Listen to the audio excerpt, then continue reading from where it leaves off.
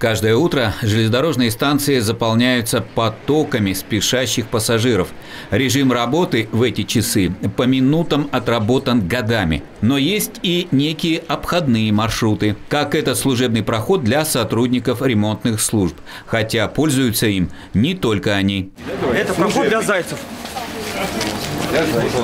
Да, немало желающих попасть на платформу прямо по железнодорожным путям. От такой прыти даже сотрудники линейного отдела полиции в недоумении. Возраст не помеха. Можно и с молодыми посоревноваться на перегонки. А молодые тоже ничего в этом не видят особенного, как, например, пассажир Данила, хотя он уверяет, что прыгает с платформы на платформу только в исключительных случаях. Ну и только если опаздываю куда-то как в основном.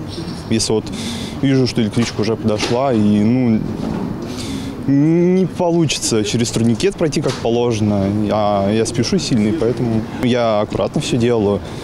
Я же не просто так безраздумно прыгаю. Многие не догадываются, что совершают административное нарушение. Этот плакатик напоминает об этом, но штраф тоже предусмотрен за такой поиск удобного для себя пути. Ну как может быть удобнее спрыгнуть с платформы? Во-первых, высота. Во-первых, безопасность личная. Здесь ходят поезда, да, электрички постоянно. Вы сами видите, вот мы стоим, да, они, ну, минуты две-три электричка идет.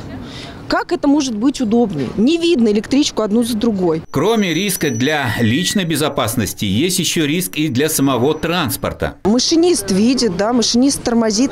У, они видят, если на путях находится посторонний человек, да, ну, любой человек, они подают сигналы. Если на сигнал человек не реагирует, они обязаны остановиться. Но машинист может увидеть человека на путях слишком поздно. Особенно, если на пути выходит столько спешащих. Это действительно вмешательство в безопасную работу железнодорожного транспорта. Потому что есть как административная, так и уголовная ответственность за вмешательство в работу транспорта. При выявлении правонарушений э, гражданин, который нарушил, доставляется в линейный отдел полиции. На гражданина составляется протокол об административном правонарушении в соответствии соответствии статье, которую нарушил. Это тоже надо помнить любителям перебежек по станционным путям. Железная дорога – место повышенной опасности. На помощь могут прийти и современные технологии. Возможно, кого-то они предостерегут.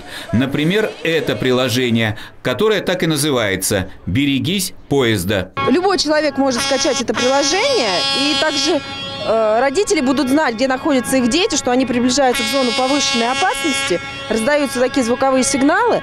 Когда человек находится в наушниках, в зоне повышенной опасности, слушая музыку, прерывается музыка, раздаются шумы. Что и говорить, такой сигнал не мешает установить на свой телефон очень многим. Пускай он почаще напоминает, что хождений по станционным путям не должно быть. Сергей Берзин, Олег Степанов, Первый Мытищинский.